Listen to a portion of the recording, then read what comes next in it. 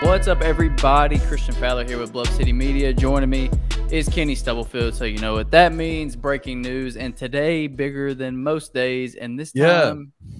in a negative way. So it was announced on Wednesday morning that Memphis head coach Penny Hardaway will be suspended for the first three games of the season. Those three games being Jackson State on the road against Missouri, and then back at home against Alabama State.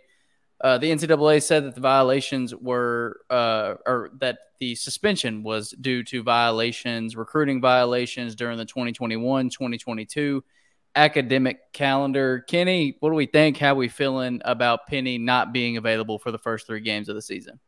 Well, I mean, obviously, anytime your head coach is suspended for any game, it's not a good look. Obviously, yeah. you look at the schedule, the first three, the first three games, and you think, you know, Alabama State, and uh, Jackson State, you're like, okay, that they'll be fine.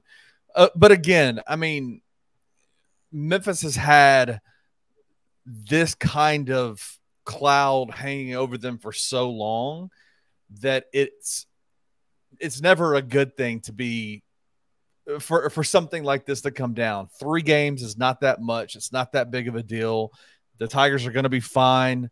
It's over with, but it's just it's a little bit disconcerting and it's like man i you know you, you hate it for penny hardaway in for the team honestly. Yeah it's more of an optics thing than any, anything else that's right? 100% like it, what it is. Yeah. In the grand scheme of things it doesn't really matter. Like it's not gonna affect the season. I mean maybe maybe it could change the outcome of that missouri game but still the second game of the year even though that will be a quality SEC opponent is not going to end the season. I, I, don't think. And then, like you said, the other two games being Alabama State and Jackson State, two games Memphis should win regardless of who's on the sideline. So really, it, it, comes down to optics that it doesn't look good that your coach has been suspended for the first three games of the year. But I, I'm not overreacting to it. Like I know it pisses a lot of people off. Uh, I've seen some it, it, every time there's an issue, it's 50 50, right? Like half the people feel one way, half the people feel the other way. I've seen a lot of pushback of, you know, this sucks that, you know, our program carries this and it shows on the program that our coach is suspended and constantly uh, involved with NCAA, yada, yada, yada. And then you have the other half of the people saying, who cares? This is, it doesn't really matter. And, and that's where I'm at. Like, I get it. I understand. Like it makes big headline news because Penny is suspended and it's Penny Hardaway and it's recruiting violations, whatever. But it it is what it is. Like eh, I'm not I'm not concerned about it. I I, I get it. I get that the optics don't necessarily look great, but it doesn't it doesn't really change my it's not a big anything. It's not a big needle mover for you. And and no. and I guess I guess the question is, and I'll push this question to you, Christian, is do you think this has any impact on future recruiting with Memphis, the Memphis Tigers and Penny Hardaway? No, I mean they didn't cut scholarships or anything. No, I mean obviously there's some some some some of the the things that happened. I think some of the, the, the things that the NCAA put down is it lowers their amount of the recruiting visits they can have at the Laurie Walton practice facility. Um, it lowers, um, I think, in-home visits they can have. Um, they get another year of added probation to the three years that the IRP already put on them last year. Um, but in terms of the negative, the negative recruiting that can happen with things like this, you don't think a player would go, well, what's going on at Memphis? I'm not going to go there because I could get wrapped up in some of this nonsense. You think that's kind of over? That's that's not even a possibility. No, no, I don't think so. Like you. Th- maybe five years ago you could have a, a, player or two in a class that would be like uh, i don't know that's kind of shady. It's all about money. Dude it doesn't matter. They're not worried about ncaa yeah. infractions and violations. This is more news that brings negative light as far as boosters and big time fans and stuff that's where that's where the negativity is carried towards not necessarily towards recruiting. Like even eh, like in this day and age, I don't even know if uh, if another team would would negatively use that as recruiting. They probably would try, but I just don't see that being an effective strategy. And also, like I said, in this day and age, it's about money. It's about NIL. It's about what can you do for me. And having an NCAA infraction, that doesn't doesn't really change that. Now, if they if they did something as far as limiting scholarships, obviously, yes, that right. that is a, a big, big deal. deal. If yeah, if if they did something, you know, that that changes the way that you can recruit as a whole, then yes, that's a big deal. But as far as this goes, no, I don't think it it impacts recruiting. Uh, Kenny, just to get a little bit more in in mm-hmm. the weeds of things, I know I've been I've had a crazy day today, so I really haven't been able to like read a ton into this, but you've you've been on top of it all day and and following along with it. For those who you know haven't done that, for those who haven't been able to check it out if they've been at work or tied up all day, go a little bit more in depth on on what exactly happened and what the NCAA said, and and we also got a statement from the University of Memphis Athletic Department. But for those who don't know, just break it down a little bit more in depth. Well, and I think honestly, I woke up this morning kind of surprised by this. I, I knew that a lot of this stems out of these recruiting violations that were found were found during the initial IARP um, investigation. And what I um, they're they're not connected to the IARP allegations that were made that were wrapped up into that investigation that dogged the Tigers for so long, but it was something that they found. And I think what it was found was it was found by the university. And so the university um, reported um, it. Report self-reported and um, what the statement that the University of Memphis officials put out was that the the University of Memphis and the athletic administration accepted whatever the the they had self-imposed some sanctions and things like that. But penny hardaway chose to fight these allegations. He chose to kind of go through the investigatory process. Um, yeah let me let, let me read a quote from from that statement real quick before you continue. Uh, this is kind of the second half of it. As we were navigating the iarp process at the time the violation was discovered we felt it was in our best interest to work through the ncaa's negotiated resolution process we supported Coach Hardaway's, Hardaway's right to work directly with the NCAA on his portion of the case, and we strongly believe Coach Hardaway never intentionally committed a violation. The University of Memphis is committed to compliance. We will learn from this incident and be even more diligent in our education and monitoring. Now that the entirety of this case is finalized, we will move forward in support of Coach Hardaway and our men's basketball program as we do all our programs. I mean, just a full throated um, support of, of Penny Hardaway and – you know the the fact that the the mistake that happened the, the violation that occurred was not a um a, a, willful act of of you know whatever you want to call it like it wasn't willful yeah. it was an accident what, so, so, you what exactly was that like what exactly are they saying happened so, and, and was done what was the violation i want to give a big shout out to jason munz over the commercial appeal who absolutely has been uh, doing an incredible job of reporting the facts on the case um, and so, honestly, in terms of my keeping up with it, has been through reading his through, through Jason, yeah. through Jason's reporting. Basically, this is what Jason has said happened: is multiple sources um, are confirming that um, former assistant coach Cody Toppert, who is now at LSU, um, conducted um, an initial impermissible in-home visit with a recruit that was a junior during the 21-22 season, which would make that that player a class of 24 player or Three. 23 player, 23 player. Yeah. Um, and so this this player the, initially Cody Toppert had an, an initial imper, impermissible in-home visit. Now the the ruling on that I think is is that when a player is a junior, you're not allowed to visit in, in home. You have to visit at the school, the high school whatever institution of, of learning they're at that's where you do your first initial visits as when the when the prospect is a junior now when they're seniors you can do in-home visits they can start taking um, school visits to colleges things like that. That's where the, re- the recruitment kind of changes from someone who's a junior in high school to someone who's a senior.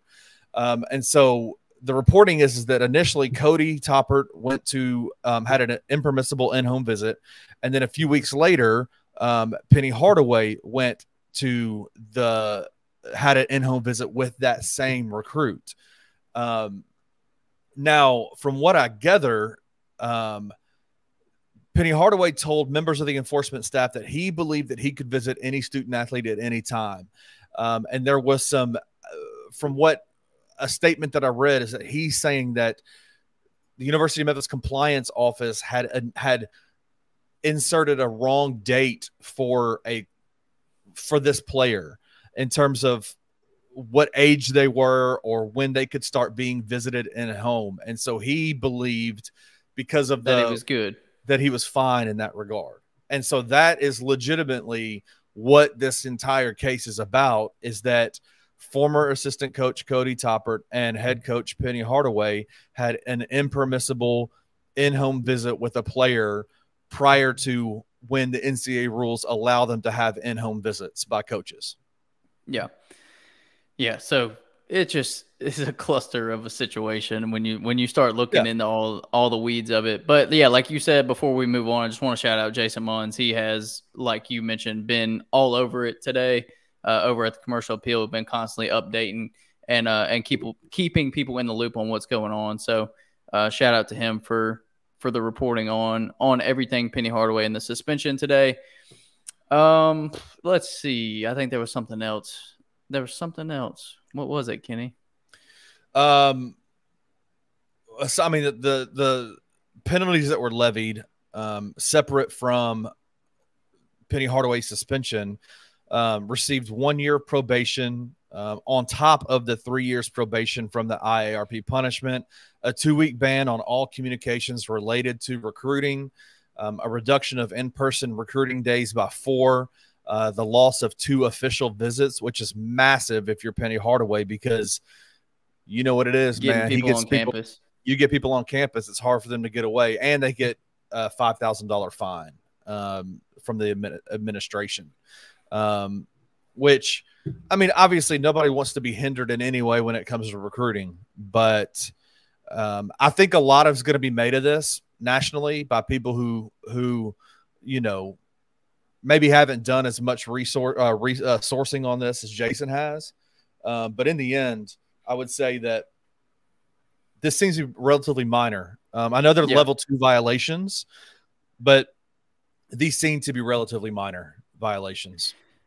So we've seen Penny Hardaway battle with the NCAA before, uh, namely with James Wiseman. In that case, was a huge deal, and the way that he uh, helped James fight through that stuff and really how it, it kind of motivated him. Like we saw a different side of Penny then. Man. What do you think? What do you think this brings? Like, do you think this this puts a bigger chip on Penny's shoulder, or do you think it's business as usual? Do you think we see any any noticeable difference in Penny as far as like when we see him and talk to him in press conferences and stuff and his demeanor? Because you and I have both seen that. Like we saw the the all the smoke year, the way that the way that he approached media and, and speaking publicly. And then we saw last year how he approached it. it. It's been kind of different every year. So what do you think this does as far as his his uh, approach, his like public persona approach this year? Well, I will say this, man. I think last year was the first year that I can see I saw a, a, a, very distinct difference in the way that Penny Hardaway talked to the media. Um, I think he learned a lot over the last three years that he had been, or four years that he had been the University of Memphis head coach. Um, he was very loose with th- some of the things that he said, some of the reactions that he gave, whether it be towards, you know, Rick Barnes and UT or, you know, claiming we want all the smoke, you know, we're going to, like immediately coming in wanting the national championship. You know, I think all those Geoff or getting pissed at, at Geoff Calkins, right? Like, um, and I think that I think what I noticed a total kind of 180 in is Penny's ability to kind of not share what immediately comes to his brain to the media. Um, and I think that that is a that is a sign of of kind of growth as a head coach and needing to measure your words carefully. The only time that I saw him at all last year really react strongly in a way that kind of reminded me of the first couple of years as, uh, of him being head coach was after the FAU game. Um, he yeah. was very, very, I mean, and obviously it was the end of the season. They had lost a heartbreaker. He was very, yeah, very blunt. upset, just very yeah. blunt about the, about things. Um, I think that we are not going to see a very big change in terms of Penny Hardaway's reaction to uh, public reaction to this. He's yeah. going to be very measured in his words. Yeah. But that doesn't mean that this does not that behind the scenes that this is not going to be a motivating factor for Penny Hardaway. There is one thing we know about Penny Hardaway and any other high level type A uh, athletes or whatever they are. These guys work really well when they have a chip on their shoulder. And and these guys can take anything that happens and turn it into a chip on their shoulder. Yeah, that and that's what I was gonna say. Believe, it doesn't it, it, doesn't take much to put that chip on no, their shoulder. Like it, it could be a slightest it, of slights, and it's a chip. Right. Yeah. yeah, and, and I'm with you. I think I think that's how he should handle himself. Like he shouldn't 100%. come out and blast and blast the NCAA like he did yeah. with the James Wiseman stuff. Like that's not gonna that's not gonna do anything. It's not gonna get him anywhere. I think he knows and understands that now. I think, like you said, we'll see him be very measured, calculated, kind of just business as usual in front of the camera and in front of the media. But behind the scenes, I guarantee, I mean, it's gonna motivate him more. Like it, it's gonna put an added chip on his shoulder. Not that he needs any more fuel, uh, right. uh, because if if you know Penny, if you listen to Penny, like he's always motivated. Like he's a competitor. I mean, he's a former high level professional athlete turned high level college basketball coach. Like competition and competitiveness and fuels motivation, him. It fuels him. It's in his blood. Like yeah. it's just part of his everyday life. But giving him just a little bit more gas, it just it's going to well, happen. Like he's gonna he's gonna have a little bit more fire. And I'll say this about that. One thing I remember specifically from that that uh, two seasons ago when he had that very public outburst towards Geoff Calkins in a post game press conference is he galvanized his team and and you can see the response that the team had towards Penny after that after that incident I would not be stunned. I would not be surprised at all if we saw that same type of reaction from the Memphis Tiger basketball program, the players, the assistant coaches, everybody from the top down rallying behind him as he's as he gets that little chip on his shoulder, even bigger, bigger now. Um, them being motivated and then being ra- rallying behind him, feeding off that energy that he provides. I, I think that's yeah. that. So it'll be interesting to see how how this motivates them throughout the summer. This might be a perfect motivation for them to grind hard this summer. Yeah. Yeah, well, like like we said, it's interesting news. It's big news. It made national headlines and news as far as sports goes. So it is. It's a big story, but at the same time, it is what it is. Like it, it it's really not going to affect that much. I don't think it's going to do anything as far as the outcome of the season. Uh, as I talked about earlier, I don't think it's going to hurt recruiting all that much. So figured we'd jump on here and break it down anyway, even though we're not overly concerned about it. But some people have different opinions on it. Some people are very concerned about it and are tired of dealing with this. And in the same vein, I get and understand that. Well, it's over. It's over. So there's nothing to be right. concerned about. It's over. Like, yeah, three games lost. He won't coach three games. It's over. Like this is done. And you so. and we didn't even say this, but you've got a guy in Rick Stansbury. Come on, man. Who's who's perfect for that. Who's perfect yeah. to come in and I mean he's been a head coach forever. Like he's perfectly fine. It's gonna be fine. It's gonna be okay. Rick's yeah. gonna come in and handle the team perfectly fine and it'll be cool.